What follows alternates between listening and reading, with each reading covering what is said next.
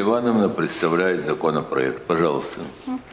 Уважаемый Владимир Николаевич, уважаемые депутаты, э, мы подготовили, правительством подготовлен э, проект закона о внесении в закон Республики Хакасия о республиканском бюджете на текущий 18 год и на плановый период 19-20 год. Э, Прежде чем перейти к цифрам, сразу скажу, изменения вообще глобальные по бюджету. Очень значительная сумма добавлена и в подоходной части, и по расходной части.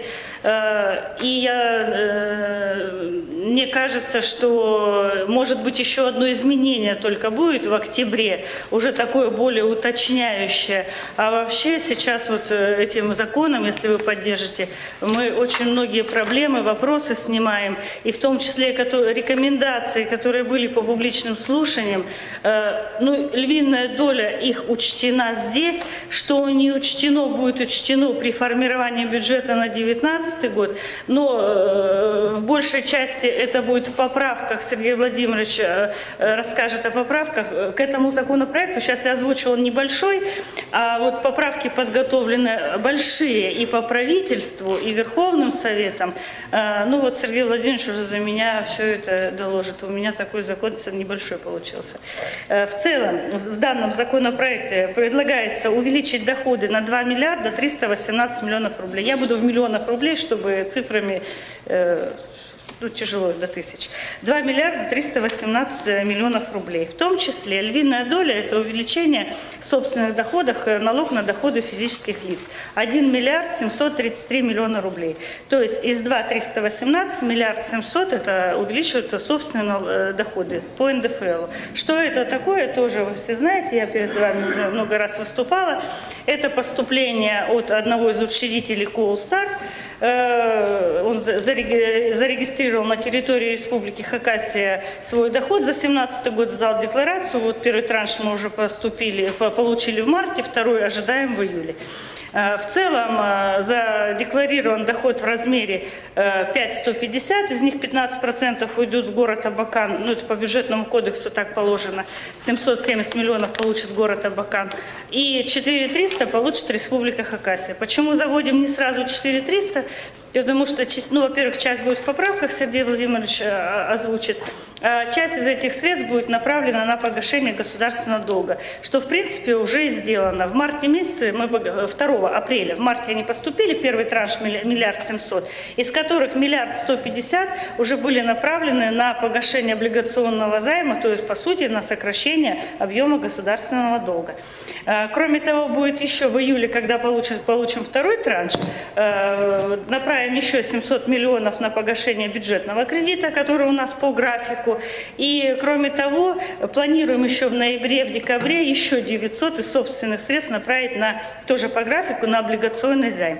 Ну, до ноября-декабря доживем, там будет видно, а вообще миллиард 150 и 700 это однозначно уже будет э, на на данные суммы объем госдолга будет погашен. Так, вернусь к изменению бюджета. То есть э, в целом доходы 2 318, из которых 1 733 уже сказала э, НДФЛ, и 585 миллионов рублей – это целевые средства федерального э, бюджета. Из них из них 234 миллиона – это дотация на сбалансированность, на частичную компенсацию дополнительных расходов на увеличение расходов на МРОД.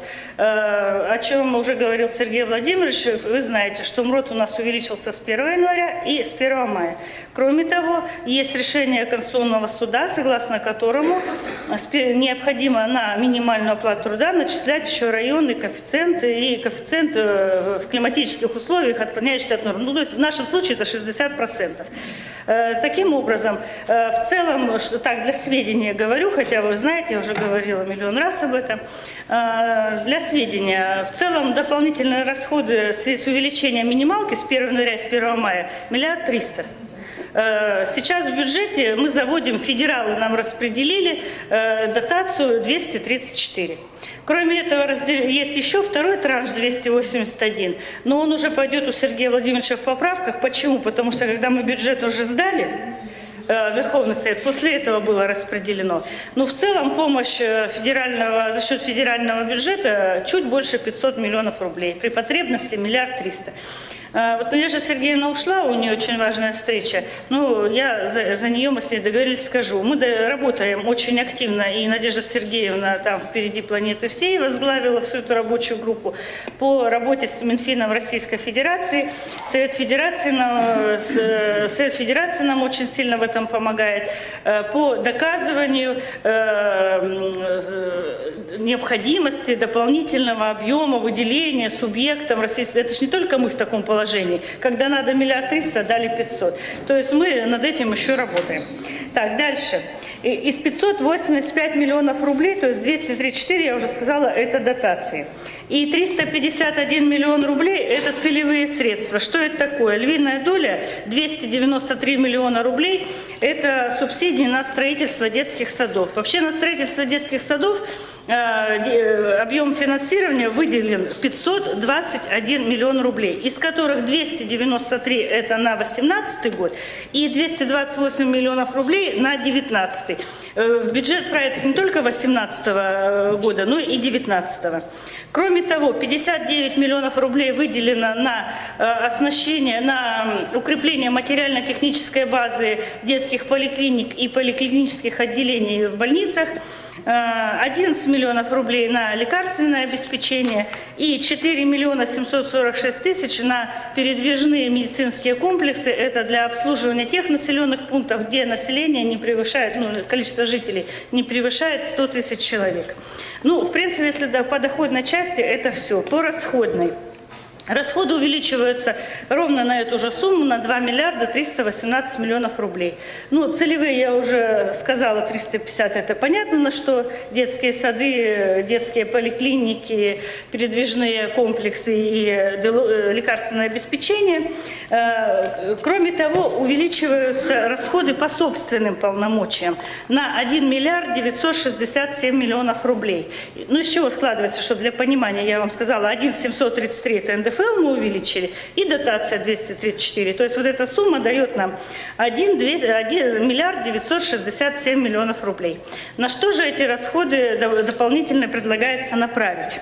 Э, Львиная доля из них это 395 миллионов рублей, это расходы на заработную плату. Опять же, в связи с увеличением РОД, это республиканские учреждения, бюджетная сфера.